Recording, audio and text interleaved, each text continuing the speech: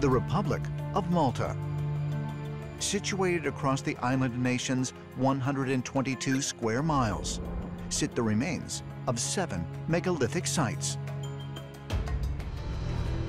While there are some researchers who believe that Malta's megalithic temples could be as much as 12,000 years old, mainstream scholars believe they were created no earlier than 3600 BC, during what is known as the Neolithic Age.